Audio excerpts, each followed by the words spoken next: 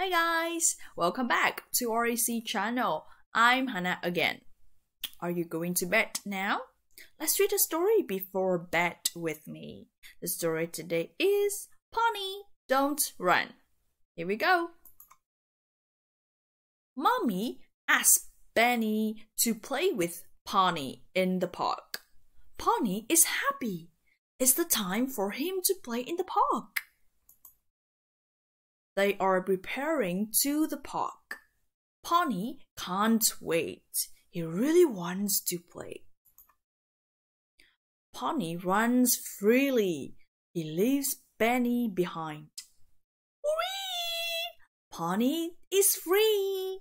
Aha! That's Auntie Lala.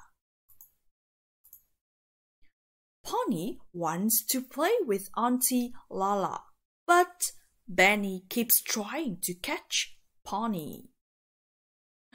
Wow! They are Benny's friends. Poni wants to play with them. Aha! Wah! Go! Adoo! All of Benny's friends fall down due to Poni. It makes Benny wants to catch Poni more. Run! Whee! Bonnie's free. Ah, bushes make Poni's body itchy.